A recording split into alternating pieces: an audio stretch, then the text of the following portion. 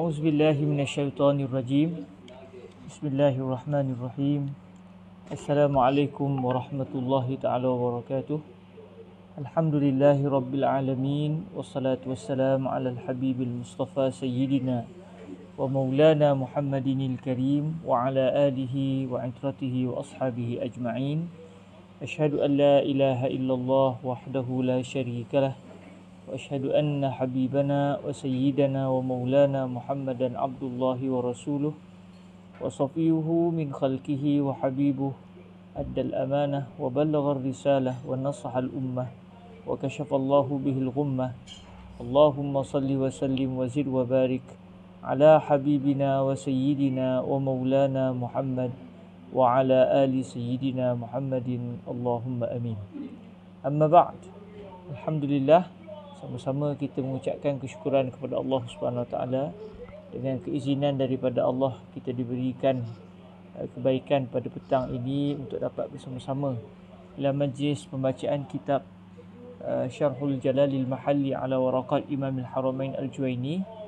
Saya mohon kemaafan kerana tadi ada saya berusaha banyak kali untuk cuba live tapi ada masalah uh, bahagian Uh, setting mungkin menyebabkan uh, saya tak dapat nak melakukan awal walaupun daripada pukul 3 tadi saya cuba cuba cuba cuba alhamdulillah akhirnya dapat uh, kita sama-sama bersiaran langsung untuk uh, kita membaca kitab Al-Jalal Al-Mahalli biiznillah subhanahu wa taala.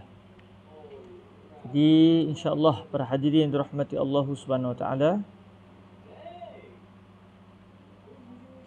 kita ulang kembali matan Al-Waraqat yang telah kita sama-sama pelajari sebelum ini yang telah kita hafal bersama-sama. Jadi setiap kali majlis kita akan baca ulang balik apa yang telah kita hafal dan kita akan uh, kita akan sambung kembali uh, ataupun kita akan tambah matan waraqat yang seterusnya insya-Allah Subhanahu Taala.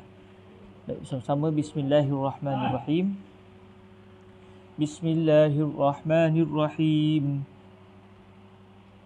هذه ورقات تشتمل على معرفة فصول من أصول الفقه وذلك لفظ مؤلف من جزئين مفردين أحدهما أصول والآخر الفقه فالأصل ما بني عليه غيره والفرع ما بني على غيره والفقه معرفة الأحكام الشرعية التي طريقها الاجتهاد.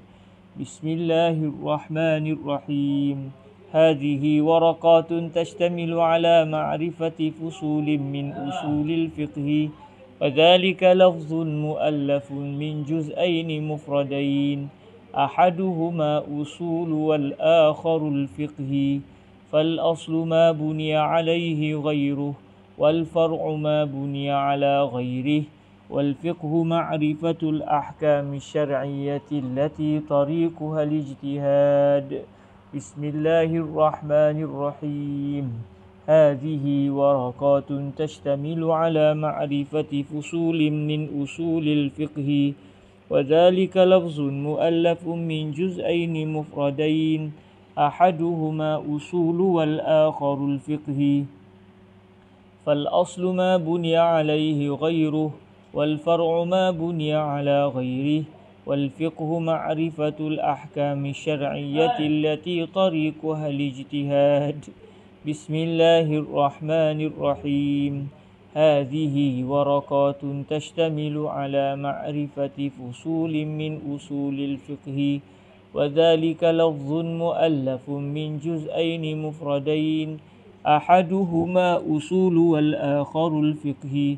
فالأصل ما بني عليه غيره والفرع ما بني على غيره. والفقه معرفة الأحكام الشرعية التي طريقها الاجتهاد. بسم الله الرحمن الرحيم. هذه ورقات تشتمل على معرفة فصول من أصول الفقه وذلك لفظ مؤلف من جزئين مفردين. أحدهما أصول والآخر الفقه فالأصل ما بني عليه غيره والفرع ما بني على غيره والفقه معرفة الأحكام الشرعية التي طريقها الاجتهاد بسم الله الرحمن الرحيم. هذه ورقات تشتمل على معرفة فصول من أصول الفقه وذلك لفظ مؤلف من جزئين مفردين. أحدهما أصول والآخر الفقه فالأصل ما بني عليه غيره والفرع ما بني على غيره والفقه معرفة الأحكام الشرعية التي طريقها الاجتهاد. بسم الله الرحمن الرحيم. هذه ورقات تشتمل على معرفة فصول من أصول الفقه وذلك لفظ مؤلف من جزئين مفردين أحدهما أصول والآخر الفقه فالأصل ما بني عليه غيره والفرع ما بني على غيره والفقه معرفة الأحكام الشرعية التي طريقها الاجتهاد. بسم الله الرحمن الرحيم. هذه ورقات تشتمل على معرفة فصول من أصول الفقه وذلك لفظ مؤلف من جزئين مفردين. أحدهما أصول والآخر الفقه. فالأصل ما بني على فالأصل ما بني عليه غيره والفرع ما بني على غيره. والفقه معرفة الأحكام الشرعية التي طريقها الاجتهاد. بسم الله الرحمن الرحيم. هذه ورقات تشتمل على معرفة فصول من أصول الفقه وذلك لفظ مؤلف من جزئين مفردين. أحدهما أصول والآخر الفقه فالأصل ما بني عليه غيره. والفرع ما بني على غيره والفقه معرفة الأحكام الشرعية التي طريقها الاجتهاد. بسم الله الرحمن الرحيم. هذه ورقات تشتمل على معرفة فصول من أصول الفقه وذلك لفظ مؤلف من جزئين مفردين. أحدهما أصول والآخر الفقه. فالأصل ما بني عليه غيره والفرع ما بني على غيره والفقه معرفة الأحكام الشرعية التي طريقها الاجتهاد. بسم الله الرحمن الرحيم. هذه ورقات تشتمل على معرفة فصول من أصول الفقه وذلك لفظ مؤلف من جزئين مفردين. أحدهما أصول والآخر الفقه فالأصل ما بني عليه غيره والفرع ما بني على غيره والفقه معرفة الأحكام الشرعية التي طريقها الاجتهاد ditambah yang baru insyaAllah. والأحكام سبعة الواجب والمندوب والمباح والمحظور والمكروه والصحيح والباطل. Pasti kita dah hafal eh? Kenyataan ni. Wal ahkamu sab'ah الواجب والمندوب والمباح والمحظور والمكروه والصحيح والباطل والأحكام سبعة الواجب والمندوب والمباح والمحظور والمكروه والصحيح والباطل والأحكام سبعة الواجب والمندوب والمباح والمحظور والمكروه والصحيح والباطل والأحكام سبعة الواجب والمندوب والمباح والمحظور والمكروه والصحيح والباطل والأحكام سبعة الواجب والمندوب والمباح والمحظور والمكروه والصحيح والباطل والأحكام سبعة الواجب والمندوب والمباح والمحظور والمكروه والصحيح والباطل والأحكام سبعة الواجب والمندوب والمباح والمحظور والمكروه والصحيح والباطل. بسم الله الرحمن الرحيم. هذه ورقات تشتمل على معرفة فصول من أصول الفقه وذلك لفظ مؤلف من جزئين مفردين. أحدهما أصول والآخر الفقه فالأصل ما بني عليه غيره والفرع ما بني على غيره والفقه معرفة الأحكام الشرعية التي طريقها الاجتهاد والأحكام سبعة. الواجب والمندوب والمباح والمحظور والمكروه والصحيح والباطل. تتما sikit lagi فالواجب ما يثاب على فعله فالواجب ما يثاب على فعله فالواجب ما يثاب على فعله فالواجب ما يثاب على فعله فالواجب ما يثاب على فعله فالواجب ما يثاب على فعله فالواجب ما يثاب على فعله ويعاقب على تركه ويعاقب على تركه ويعاقب على تركه ويعاقب على تركه ويعاقب على تركه. فالواجب ما يثاب على فعله ويعاقب على تركه. فالواجب ما يثاب على فعله ويعاقب على تركه. فالواجب ما يثاب على فعله ويعاقب على تركه. فالواجب ما يثاب على فعله ويعاقب على تركه. فالواجب ما يثاب على فعله ويعاقب على تركه.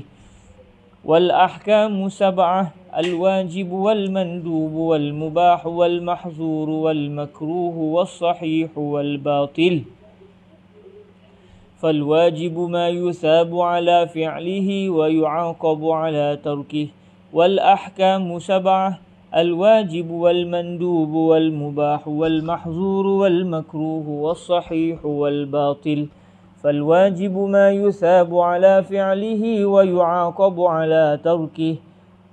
والأحكام سبعة الواجب والمندوب والمباح والمحظور والمكروه والصحيح والباطل. فالواجب ما يثاب على فعله ويعاقب على تركه. والأحكام سبعة الواجب والمندوب والمباح والمحظور والمكروه والصحيح والباطل. فالواجب ما يثاب على فعله ويعاقب على تركه.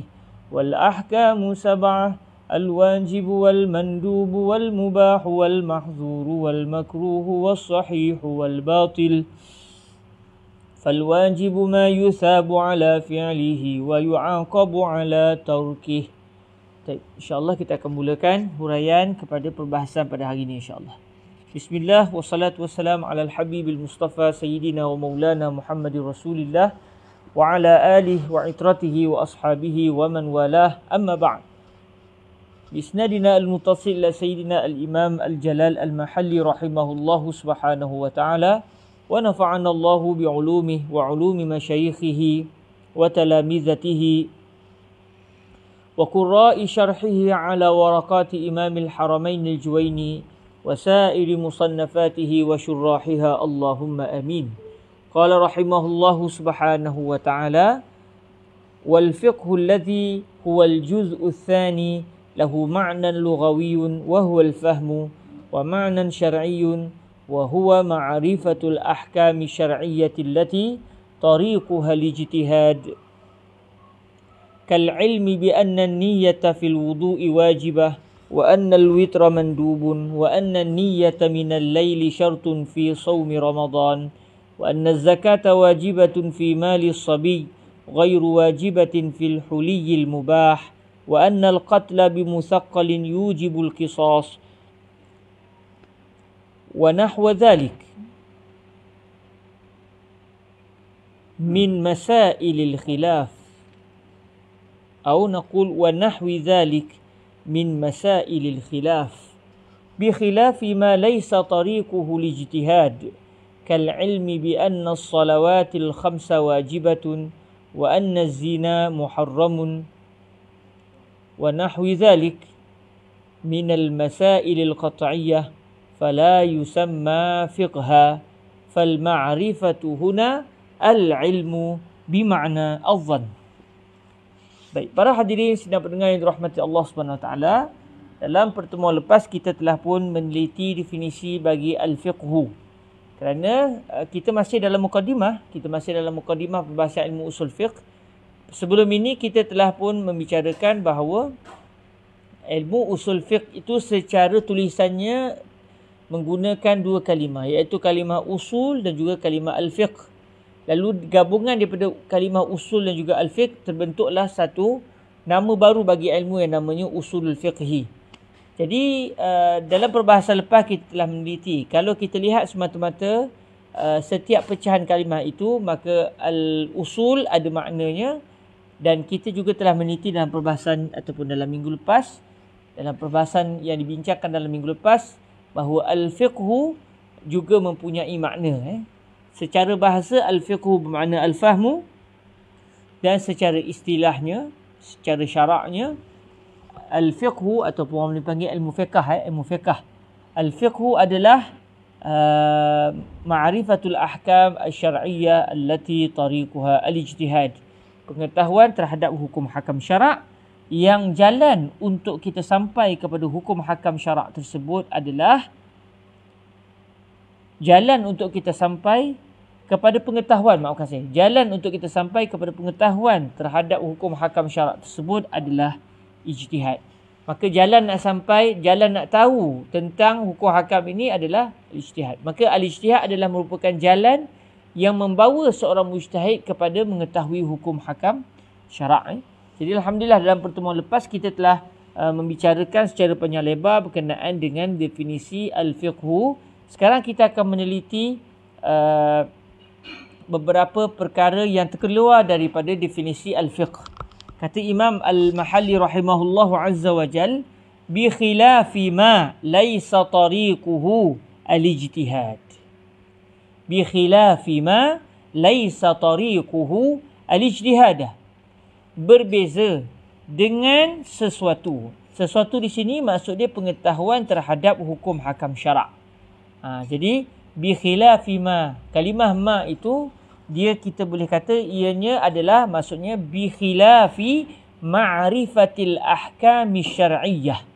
Ha, kita boleh katakan ma itu adalah dimaksudkan di sini merujuk kepada pengetahuan terhadap hukum hakam syarak yang jalan untuk sampai kepadanya sampai jalan untuk sampai kepada pengetahuan tersebut bukan secara al-ijtihad. Mani kalau al-fiqhu uh, al-fiqhu mai kalau kita gambarkan macam satu orang dia naik kenderaan, ada jalan dan ada tujuan, maka yang membawa kenderaan itu adalah mujtahid. Ha, dia nak pergi mana? Dia nak pergi kepada lokasi akhir dia iaitu pengetahuan terhadap hukum hakam syarak. Macam mana dia nak sampai kepada pengetahuan hukum hakam syarak? Dia sampai dengan menaiki al-ijtihad. Ha, kalau kita nak gambarkan secara seperti seorang yang membawa kereta contoh. Maka kenderaan seseorang mujtahid untuk dia sampai kepada destinasi yang ingin dia pergi iaitu pengetahuan terhadap hukum hakam syarak. Kenderaan yang digunakan adalah al-ijtihad. Jadi kalaulah kenderaan yang digunakan bukan al-ijtihad, tetapi dia sampai kepada pengetahuan hukum hakam syarak tersebut. Tetapi dia tak naik kenderaan. Dia tidak menggunakan al-ijtihad. Maka ketika itu, pengetahuan si mujtahid tadi terhadap hukum hakam syarak, cuma cara nak tahu pengetahuan, uh, cara nak tahu hukum tadi bukan dengan sebab ijtihad, tetapi dengan dalil-dalil yang sangat jelas, lalu tidak memerlukan kepada al-ijtihad, maka ketika itu pengetahuan terhadap hukum hakam tersebut tidak dinamakan al-fiqhu. Jadi al-fiqhu adalah apabila seorang mujtahid menggunakan al-ijtihad baru dia sampai kepada pengetahuan hukum hakam. Eh, kalau dia tidak berijtihad dia tak akan mampu untuk sampai. Dia terpaksa berijtihad, dia terpaksa buat kajian, hasil kajian terperinci barulah dia boleh sampai kepada natijah yang diinginkan iaitu mengetahui hukum hakam syarak. Jadi kalaulah jalan untuk seorang mujtahid pergi kepada pengetahuan terhadap hukum hakam adalah al-ijtihad, maka pengetahuan si mujtahid tadi dinamakan al-fiqhu. Tapi kalau si mujtahid mengetahui hukum hakam syarak, cuma dia tahu bukan dengan sebab dia berijtihad, bukan dengan sebab dia buat kajian, tetapi kerana jelasnya dalil yang ada dalam Al-Quran ataupun hadis Rasulullah sallallahu alaihi wasallam, lalu dia tidak perlu kepada buat kajian kerana dalilnya sangat jelas, maka pengetahuan terhadap hukum hakam syarak tadi yang mengetahuinya tidak memerlukan kepada kajian pengetahuan tersebut tidak dinamakan al-fiqhu. Maya al-fiqhu adalah pengetahuan terhadap hukum hakam syarak yang cara nak tahu hukum hakam tadi mau tidak mahu adalah secara al-ijtihad. Dengan ijtihad sajalah baru seseorang itu dapat sampai kepada pengetahuan terhadap hukum hakam syarak tersebut. Jadi inilah baru dinamakan al-ijtihad ataupun dinamakan al-fiqhu. Jadi, jadi di sini Imam Al-Mahali nak mendatangkan beberapa uh, contoh pengetahuan terhadap hukum hakam syarak tetapi tidak dinamakan al-fiqhu. Kenapa? Kerana cara nak tahu itu tidak memerlukan al-ijtihad, tidak memerlukan kepada kajian terperinci. Sebaliknya cukup dengan membaca dalil dan terus tahu. Kerana apa? Dalilnya sangat jelas. Eh? Contohnya apa? Kal ilmi bi anna salawatil khamsa wajibatun. Contohnya pengetahuan tentang sembahyang yang lima adalah wajib dan juga fardu. Jadi pengetahuan seseorang mujtahid bahawa sembahyang zuhur, asar, maghrib, isyak dan subuh adalah wajib dilakukan oleh seseorang mukallaf setiap hari. Si mujtahid tahu perkara tadi bukan kerana uh, perlukan kepada kajian yang terperinci tetapi si mujtahid akan terus tahu apabila membaca dalil-dalil syarak. Jadi sebagai contoh, bila baca hadis Rasulullah, Rasulullah sebut dengan jelas bahawa setiap sehari semalam kita diwajibkan sembahyang lima waktu.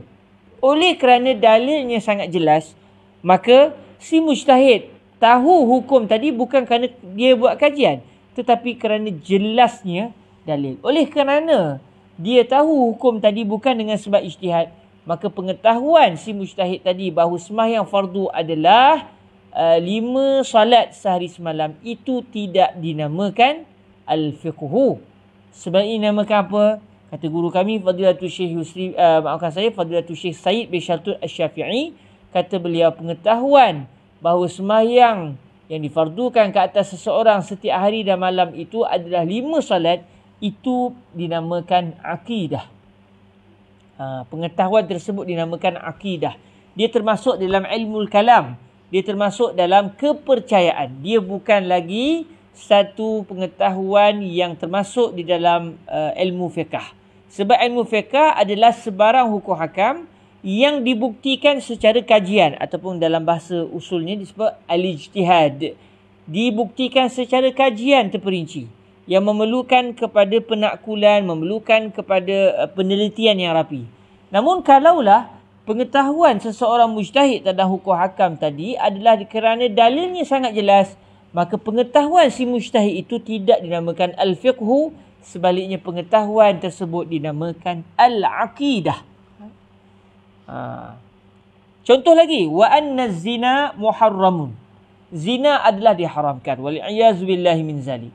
Jadi zina, liwat ataupun asyuzuz eh Fadilatul Syekh Yusri bin Rushdi kurang gemar kalau kita guna kalimah liwat kerana ia akan berkait dengan nama suci Nabi Allah Lut alaihi salam. Jadi uh, kalau menurut Fadilatul Syekh Yusri eloknya tidak digunakan kalimah liwat kita guna asyuzuz contohnya. Uh, sodomi dan sebagainya. Jadi perbuatan-perbuatan ini zina, sodomi adalah haram diharamkan oleh Allah Subhanahu Wa Taala dan juga Sayyidina Rasulullah sallallahu alaihi wasallam. Al Imam Syafi'i pun tahu, Imam Malik pun tahu, Imam Ahmad pun tahu, semua para mujtahid tahu. Cuma macam mana mereka tahu? Disebabkan mereka perlu buat kajian atau kerana dalil yang mengatakan zina adalah haram sangat jelas? Jawapannya adalah kerana dalil yang menyatakan bahawa zina adalah perbuatan yang haram adalah jelas. Maka tidak memerlukan kepada kajian terperinci. Maka pengetahuan seseorang mujtahid bahawa zina adalah perbuatan yang diharamkan oleh syariat, pengetahuan tersebut tidak dinamakan al-fiqhu sebaliknya dinamakan al-i'tiqad ataupun al-aqidah. Wa nahwi zalika min al-masail al-qat'iyyah fala yusamma fiqha. Dan contoh-contoh yang lain. Yang mana contoh-contoh yang lain ini termasuk di dalam masalah-masalah yang telah berlaku kesepakatan para ulama. Ha, riba diharamkan oleh syarak, mencuri diharamkan oleh syarak, melakukan uh, uh, perbuatan uh, contoh menuduh seseorang melakukan perbuatan yang tidak senonoh diharamkan oleh syarak. Jadi semua perbuatan-perbuatan ini tidak dinamakan al-fiqhu. Kenapa? kerana si mujtahid mengetahui hukum hakam syarak tadi bukan disebabkan hasil kajian terperinci atau dalam bahasa usul fiqh ni kita sebut al-ijtihad. Sebaliknya si mujtahid tahu dengan sebab dalil yang mengatakan perbuatan bagian-bagian adalah diharamkan oleh syarak atau diwajibkan oleh syarak, dalil itu sangat jelas sehingga tidak memerlukan kepada kajian. Maka pengetahuan tersebut tidak dinamakan al-fiqhu. Okey, jadi tahulah kita al-fiqhu adalah pengetahuan terhadap hukum hakam syarak yang bersifat uh, amali yang bersifat perbuatan dalam masa yang sama uh, pengetahuan seseorang mujtahid terhadap hukum hakam tadi adalah melalui al-ijtihad disebabkan al-ijtihad. Sekiranya pengetahuan tersebut tidak disebabkan al-ijtihad, maka ia tidak dinamakan al-fiqhu. Habis dinamakan apa? Kalau si mujtahid mengetahui hukum tadi dengan sebab jelasnya dalil, maka pengetahuan tersebut dinamakan al-aqidah. Eh? Dinamakan al-aqidah. Alhamdulillah, moga-moga uh, moga-moga Allah Subhanahu Wa Taala uh, memberikan kefahaman kepada kita eh, terhadap istilah ini. Eh? Sebab kita biasanya uh, solat wajib tu kita faham ia adalah fiqah. Tapi berdasarkan ijtihad ilmu usul al-fiqhi itu tidak dinamakan al-ijtihad. Ianya adalah uh, dinamakan sebagai al-i'tiq. Dia tidak dinamakan sebagai fiqah. Dinamakan sebagai al-ijtihad. Ah, sorry, dinamakan sebagai al-i'tiqad. Eh, sebagai ilmu kalam, ilmu akidah. Kerana dalil yang mengatakan perbuatan itu wajib atau haram atau sebagainya adalah sangat jelas sehingga tidak memerlukan kepada kajian terperinci. Eh. Okey, selesailah kita meneliti berkenaan dengan definisi bagi al-fiqhu. Jadi al-fiqhu adalah pengetahuan terhadap hukum hakam syarak yang cara nak tahu hukum hakam tadi adalah secara al-ijtihad. Jadi dalam dua pertemuan yang minggu lepas kita dah sebut.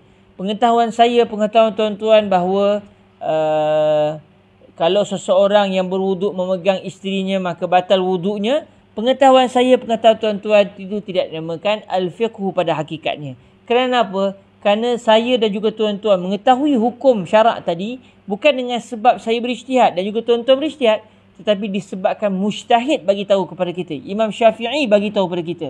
Maka ketika itu kita mengetahui hukum hakam tadi bukan dengan sebab ijtihad tetapi dengan sebab al-ikhbar dengan sebab orang bagi tahu dengan sebab mujtahid bagi tahu.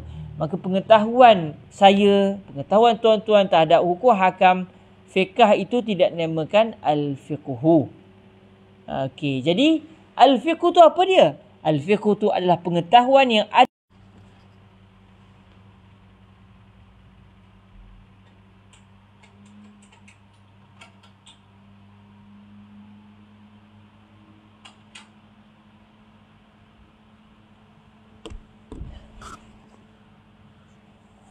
ya.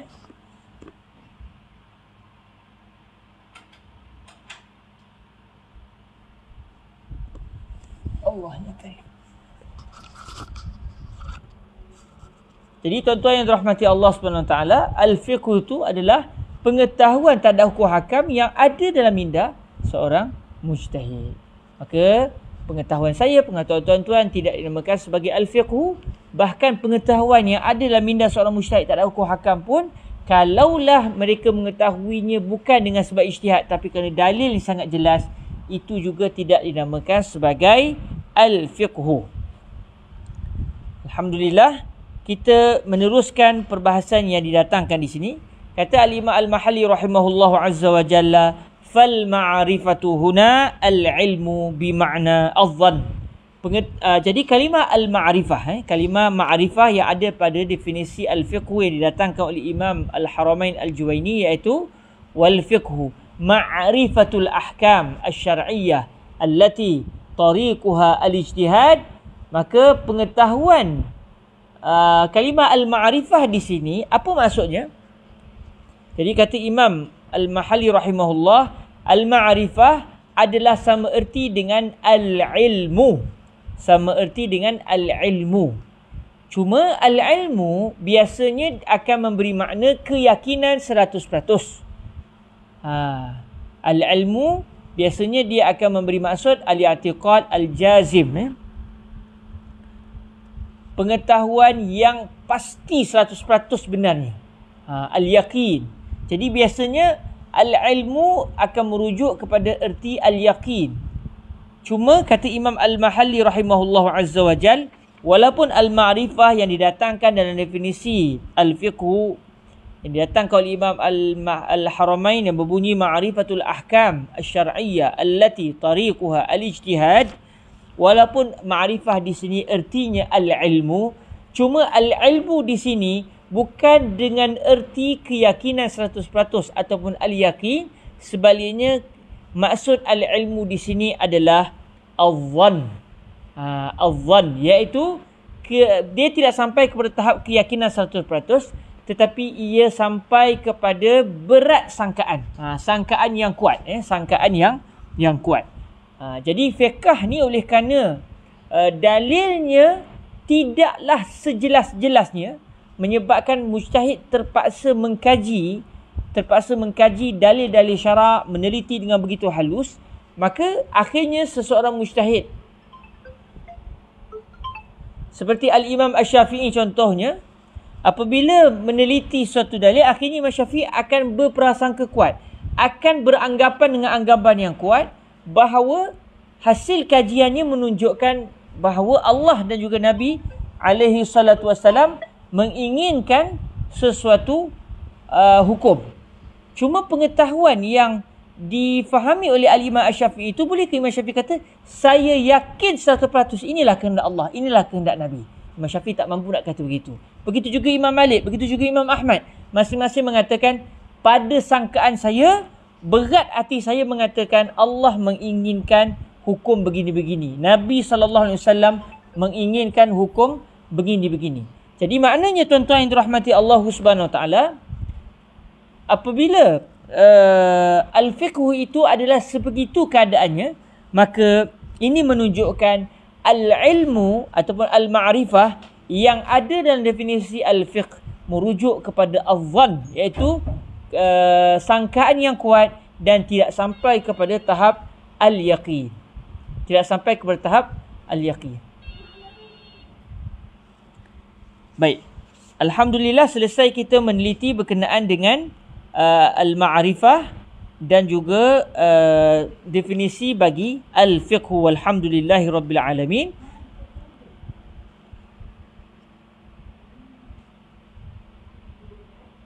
Sebentar tuan-tuan eh. Sebentar ada ada ada satu panggilan penting. Sebentar eh